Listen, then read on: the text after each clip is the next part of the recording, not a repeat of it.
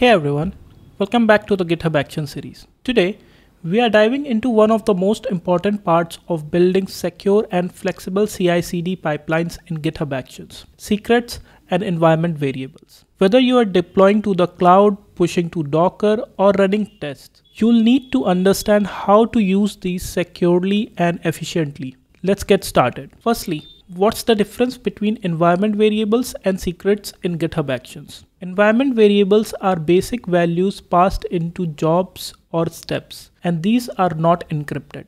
Whereas secrets are sensitive values like API keys, tokens, passwords, etc. These are encrypted at rest and in transit. So we need to use environment variables for things like app names, regions, or config flags and use secrets for things like GitHub tokens, API keys, and passwords. So how to define environment variables? Let's look at the three levels of using environment variables in a workflow. The first is the global at the very top level. So if you are adding your environment variables, for example, here I have added this region as US East 1 at the very top, like before our jobs even, then this particular environment variable will be accessible in all your steps and also in all your jobs. So we should use this one when this particular environment variable is needed in like multiple jobs. The next is at a job level. So in this one, we can add it inside our jobs. So for example, here I have again used the same environment variable as an example. So this particular environment variable will be accessible to all the steps in this particular job. If there is some step that is a part of some other job, then this particular environment variable will not be accessible.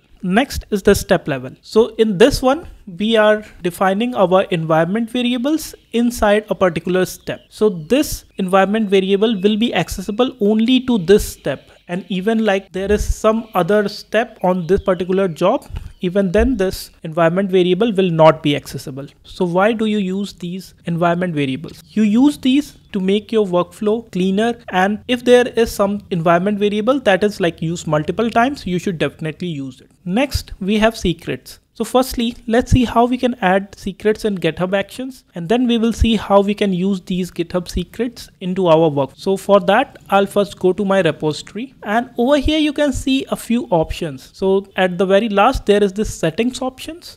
And if your window is like smaller and you are not seeing the securities options, you just need to click into these three dots and then you will see this settings option. And even then, if you are not seeing this settings option, that means you do not have required privileges or required access to view this settings panel. So you can raise a ticket in your organization on or ask your manager how to get, get this access.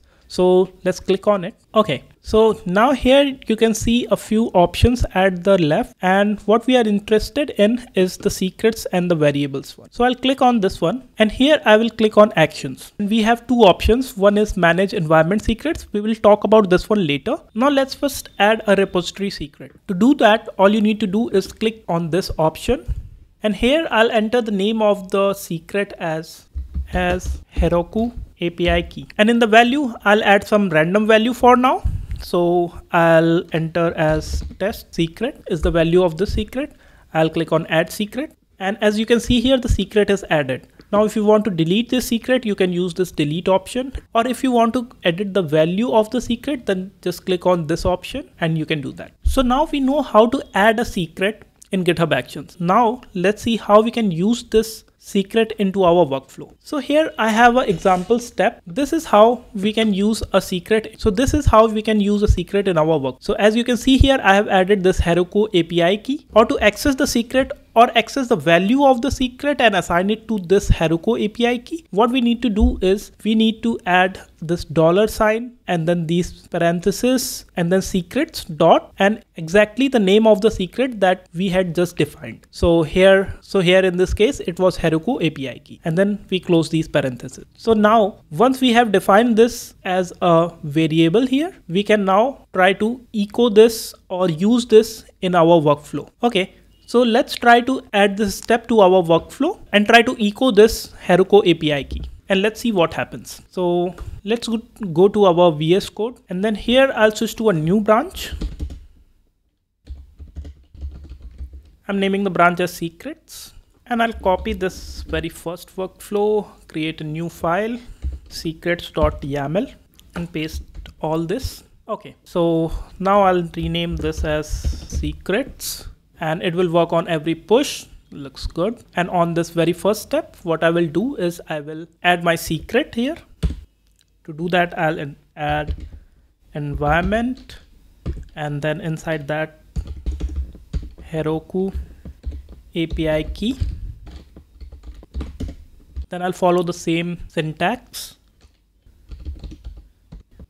I'll add here echo Heroku API key. And then our API key that is dollar and this variable. Okay so now what it should do is it should get our secrets and the value was just a test secret. And we should be seeing this logged in our github actions log when this workflow runs. So i'll save it and i'll push this code and create a new pr okay i'll create a new pr now. So i'll go to prs compare and pull I'll keep the name as secrets and I'll create a new PR. Okay, so seems like our secrets job is done. So let's see our runner script thing where we should be seeing our Heroku API key. So now here you can see three stars instead of the value of our secret. This is like completely intended and why it is? Because we do not want our secret to be exposed in our logs, right? So this is something that GitHub Actions does if we have a secrets value and it is being logged anywhere, then it masks it with stars. But still, as a caution, we should not try to like directly log any of our secrets as a good practice. But yeah, the value of the secret will be accessible to any of your steps. The only thing is that it will not be logged. So there are some best practices when using secrets. So secrets we should only use for sensitive values and not like any environment variables or anything else. And then also we should rotate our secrets periodically just to be safe. And we should never echo our secrets into logs, even though it masks it. But yeah, like if there are spaces in betweens or slashes, like you can manipulate the string and you will be able to log the secrets. So the best practice is just never log those secrets. Limit secret scopes to individual repos or environments. And we should use organization secrets if the secrets are shared across multiple repos. This is something that you need to worry if you are handling multiple repos in your organization. And that's it. In this video, I have showed you how you can use environment variables and secrets in your GitHub actions. Now in the next video, what we will do is we will deploy this application to Heroku and then we will add that deployment directly to GitHub actions as a complete pipeline. So then you will be using a secret that should not be leaked and you will be adding a workflow that deploys your code whenever you merge to your main branch. So subscribe for that next upcoming GitHub Actions video. And if you got any questions, just drop them in the comments and like the video if it helped you. Thanks for watching and I'll see you in the next one.